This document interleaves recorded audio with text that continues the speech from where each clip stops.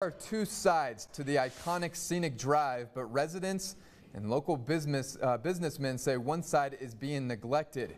KTSM 9 News reporter Jesus Baltazar spoke with a local construction firm who developed a study showing the disparities between the western and eastern part of the road and how city could rejuvenate the eastern part, which is the side they say is being neglected. Jesus. Andy, the people behind this vision for the most part live in East Central Paso, where Scenic Drive starts. Now for them, this is a passion project that regardless whether they're at the front of it or not, they would hope to see it come to fruition. Cruise through Scenic Drive, and you'll notice a stark difference at each end. Royal Park got developed with pathways and, and, landscaping, and then we saw the parking off of Scenic Drive on the west slope. And then the entry gate, they did a really nice job, but that never got trans, transferred over to the, to the east slope. One entryway leading in from the more affluent neighborhoods in west central El Paso, and the other coming up from east central.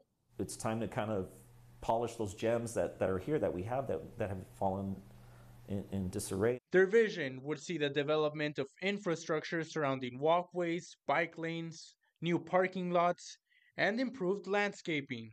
A vision even new residents in East Central El Paso would support. You can see the difference in like the parks around the neighborhood. Um, just in general, the houses, the streets, they're, they, they're different. They're a little more bumpy maybe.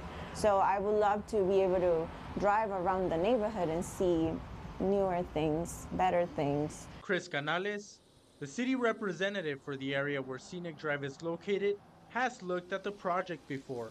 He believes it's an idea with potential and shared his thoughts on the project, sending a statement reading, quote, Scenic Drive is an important tourism destination and the overlook at Murchison Park is a local landmark so we will definitely consider improvements in the area when looking at future project funding. I'll remind everyone that if the city keeps making policy decisions leading to geographic expansion instead of infill and higher density, then we will have more and more amenities and services to pay for without proportionally equal funding, making these kinds of projects in El Paso's urban core more difficult.